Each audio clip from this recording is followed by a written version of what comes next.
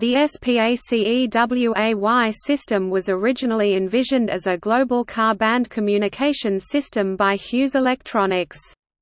When the project to build the system was taken over by Hughes Network Systems, a subsidiary of Hughes Electronics, it was transformed into a phased deployment initially only launching a North American satellite system. This is in comparison to other more ambitious systems such as Teledesic and Astrolink which retained their full global nature and which subsequently failed to complete their systems.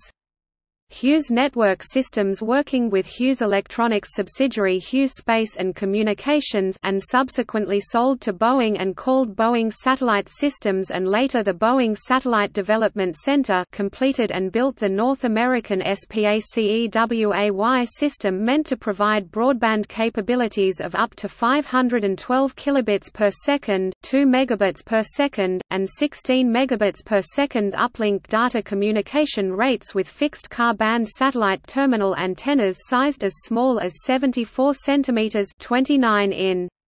The broadband SPACEWAY system was standardized by Telecommunications Industry Association and European Telecommunications Standards Institute as the Regenerative Satellite Mesh, AIR interface. After News Corp purchased a controlling interest in Hughes Electronics, the company sold off its controlling interest in Hughes Network Systems but retained SPACEWAY1 and SPACEWAY2 for use in the DirecTV satellite television subsidiary of Hughes Electronics.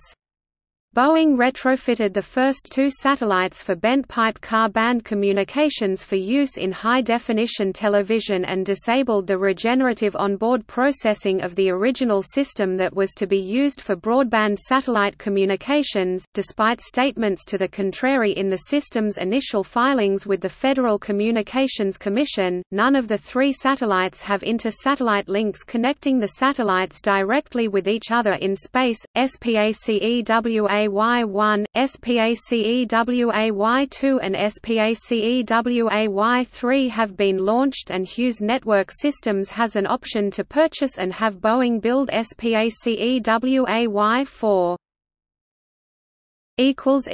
Notes